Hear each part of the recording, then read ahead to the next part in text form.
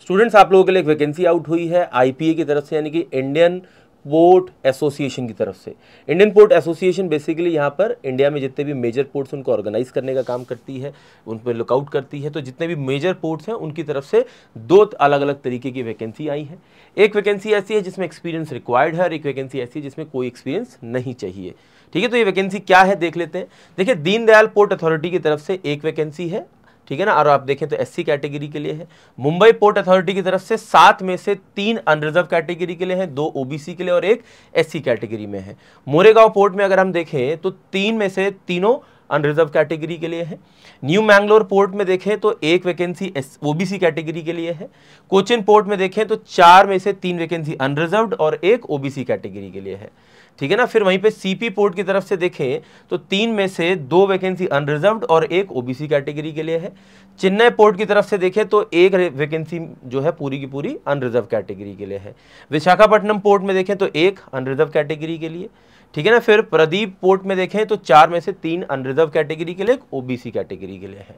ठीक है ना? फिर केपी पोर्ट पे हम देखें तो यहाँ पर आठ में से चार अनरिजर्व कैटेगरी के लिए है, दो ओबीसी के लिए है और एक एससी कैटेगरी में आ जाती है और एक वैकेंसी अगर आप यहाँ पर देखें तो इकोनॉमिकली वीकर सेक्शन को भी मिली है।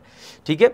तो यहाँ पर कितनी कितनी वैकेंसीज कहाँ पर है ये आपको पता चल गया। अब सवाल ये बनता है कि जो असिस्टेंट एग्जीक्यूटिव इंजीनियर की वैकेंसी है, ठीक है ना? ये बाकी के इन सारे पोर्ट्स में जो आपको नज़र आ रहे हैं, इनमें है। और एक वैकेंसी जो जूनियर एग्जीक्यूटिव की है वो आपके केपी पोर्ट में है। ठीक है, अब यहाँ पर देखने को ये मिलता है कि जिनका ऑनलाइन रजिस्ट्रेशन है, ठीक है ना, वो 28 अक्टूबर से शुरू हो चुका है और 20 नवंबर तक किया जा सकता है। इसमें जितनी वैकेंसीज हैं, अगर आप ध्यान देंगे तो सारी की सारी सिविल इंजीनियरिंग के स्टूडेंट्स के लिए ही है। ठीक है? हालाँकि अगर आप देखते हैं assistant executive engineer junior executive की ये दोनों वैकेंसीज के लिए सिर्फ़ और सिर्फ़ बीटेक के बच्चे अप्लाई कर सकते हैं डिप्लोमा के बच्चे अप्लाई नहीं कर सकते। इसमें जो असिस्टेंट एग्जीक्यूटिव इंजीनियर की पोस्ट है, इसमें आपको कम से कम दो साल की एक्सपीरियंस की ज़रूरत है। लेकिन जूनियर एग्जीक्यूटिव सिविल के लिए अप्लाई करने के लिए आपको कोई एक्सपीरियंस की ज़रूरत नहीं है। और ये चीज़ क्लियरली यहाँ पर नीचे दी भी गई है कि भाई अगर मैं यहाँ पर देखता हूँ तो बीटेक की डिग्री चाहिए और बीटेक की डिग्री के साथ लेकिन टू ईयर्स का एक्सपीरियंस चाहिए आपको, ठीक है ना एग्जीक्यूटिव कैडरी का प्लानिंग में, आपको कंस्ट्रक्शन में या डिज़ाइन में या मेंटेनेंस में जो भी आपने पोर्ट मरीन स्ट्रक्चर्स के साथ इंडस्ट्रियल कमर्शियल या गवर्नमेंट अंडरटेकिंग में काम किया हो। जूनियर एग्जीक्यूटिव के लिए देखिए क्लियरली लिखा है कि कोई एक्सपीरियंस नहीं चाहिए, लेकिन आपका बीटेक होना चाहिए और उसमें कम से कम साठ परसेंट आपने एक्वायर किए होने चाहिए अपने बीटेक के दौरान। ठीक है? फिर इसमें जो इंपॉर्टेंट पॉइंट दिया है कि आप अगर इनमें से किसी भी पोस्ट के लिए अप्लाई करना चाहते हो तो आपकी मैक्सिमम एज तीस साल हो सकती है अनरिजर्व कैटेगरी को ध्यान में रखते हुए। लेकिन आपको एज रिलैक्सेशन भी मिल जाता है। एज रिलैक्सेशन कैसे मिल जाता है कि अगर आप एससी या एसटी कैटेगरी में लाया करते हैं तो पाँच साल का। ओबीसी क्लास में आते हैं नॉन क्रीमी लेयर तो फिर तीन साल का। पर्सन विद बेंचमार्क डिसेबिलिटी है तो फिर 10 साल का। और अगर आप उसके साथ साथ एस सी कैटेगरी में भी लाई करते हो तो 15 साल का हो जाएगा वो। और ओबीसी कैंडिडेट्स के लिए 13 साल का हो जाएगा। ठीक है? तो अब यहाँ पर देखें तो एक सवाल ये आपके अंदर हो सकता है अभी तक कि, सर, ये किस स्टेट के स्टूडेंट्स अप्लाई कर सकते हो? तो आप इंडियन स्टूडेंट हैं। यानी कि आप किसी भी स्टेट के हो सकते हैं, बस आप इंडियन सिटीजन होने चाहिए तो आप अप्लाई कर सकते हैं, कोई ऐसी प्रॉब्लम नहीं है इसमें। ठीक है ना? अच्छी बात यह है कि इन्होंने इसमें पैकेज में भी ये दिया हुआ है कि पे पैकेज के अंदर आपको बेसिक पे उसके ऊपर 35 परसेंट अलाउंसेज फिर ग्रेजुटी प्रोविडेंट फंड और एचआरए और जितने मेडिकल बेनिफिट्स वगैरह आपको मिल सकते हैं, वो हर एक चीज़ आपको इसमें मिलती है तो एक बहुत अच्छी वैकेंसी बन जाती है। एग्ज़ाम पैटर्न की बात करते हैं तो इसमें सीबीटी बेस्ड टेस्ट होगा और इसके साथ साथ इसमें इंटरव्यू भी है। ठीक है? इसमें ये चीज़ दी गई है कि टेक्निकल सिविल इंजीनियरिंग से 100 सवाल होंगे आपके रीजनिंग के 15 सवाल होंगे एप्टीट्यूड के 15 जनरल अवेयरनेस के 15 और इंग्लिश लैंग्वेज के भी 15 सवाल होंगे। टोटल 160 सवाल बनेंगे। सॉरी सॉरी गलत हो गया। नंबर ऑफ़ क्वेश्चन ये मार्क्स हो गए। एक टोटल 160 मार्क्स का पेपर होगा और नंबर ऑफ़ क्वेश्चन आपके 110 होंगे, जिसमें 50 सवाल सिविल के हैं 15 रीजनिंग के 15 एप्टीट्यूड के 15 अवेयरनेस के और 15 आपके इंग्लिश लैंग्वेज के। तो यहाँ पर जो 50 सवाल टेक्निकल के हैं, वो एक सवाल दो मार्क्स का है। इस वजह से वो 160 टोटल नंबर बन रहा है। दो घंटे का एग्जामिनेशन है। नेगेटिव मार्किंग भी है। वन फोर्थ मार्क्स की, यानी कि 0.25 मार्क्स की नेगेटिव मार्किंग है हर गलत आंसर के लिए। हालाँकि यहाँ पर कैंडिडेट्स की शॉर्ट लिस्टिंग के लिए दिया गया कि मिनिमम आपको इतना अचीव करना होगा। देखिए, वो एक अलग बात है लिखित में।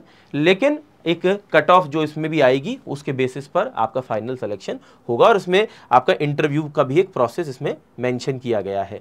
एप्लीकेशन फ़ी की अगर हम बात करते हैं तो अनरिजर्व कैटेगरी के लिए चार सौ रुपए है ओबीसी और इकोनॉमिकली वीकर सेक्शन के लिए तीन सौ रुपए है एस सी एस टी और विमेन कैंडिडेट्स के लिए दो सौ रुपए है और ex serviceman and person with benchmark disabilities के लिए नो फ़ी ठीक है?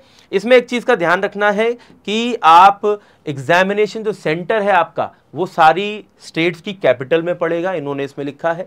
और जो मेजर पोर्ट सिटीज़ हैं इंडिया की, वहाँ पर भी पड़ेगा। बाकी आपको एग्ज़ाम की जो भी डेट रिलीज़ होगी, जो कि ऑफिशियली अभी इसमें नहीं दी गई है, वो एग्ज़ाम की डेट से 21 दिन पहले डेट रिलीज़ कर दी जाएगी। और आपको ये भी बता दिया जाएगा कि आपका जो एग्ज़ाम है, वो कहाँ पर, किस सिटी में होने वाला है। तो online date of date of online examination इक्कीस दिन पहले आपको बता दी जाएगी।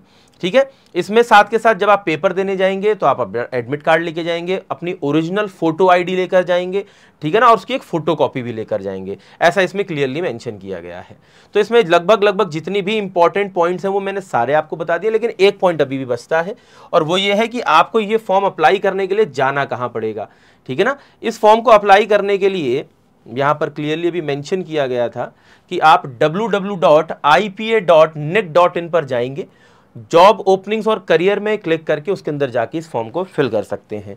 हालाँकि इस नोटिफिकेशन की अगर आपको ज़रूरत है, किसी डिटेल की आपको ज़रूरत है तो आप मेरे टेलीग्राम ग्रुप को भी ज्वाइन करेंगे, जो कि आपके लिए मैंडेटरी भी है, क्योंकि सारे एग्ज़ाम्स की जो भी नोटिफिकेशन आते हैं, हो सकता है कि आपसे मिस हो जाए, लेकिन आप टेलीग्राम ग्रुप अगर ज्वाइन करके रखते हैं तो वो मिस नहीं होंगे। टेलीग्राम ग्रुप का नाम है Shubham Agarwal sir.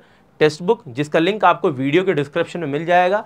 डिस्क्रिप्शन में लिखा होगा ज्वाइन शुभम सर टेलीग्राम उसके आगे लिंक होगा, उस लिंक को क्लिक करेंगे और आप उसको डायरेक्टली ज्वाइन कर पाएँगे। और सारी क्लासेज सिविल इंजीनियरिंग से रिलेटेड या फिर एग्ज़ाम के नोटिफिकेशंस या जो भी इन्फॉर्मेशन आती है, वो सब आपको रेगुलरली इस टेलीग्राम ग्रुप से मिलती है। तो ज्वाइन करें और इस वीडियो को लाइक ज़रूर करें सो so दैट कि आपको इस तरह की वीडियोस यूट्यूब रिकमेंड करते रहे और आपके एग्ज़ाम से रिलेटेड इन्फॉर्मेशन आपको मिलती रहे। धन्यवाद।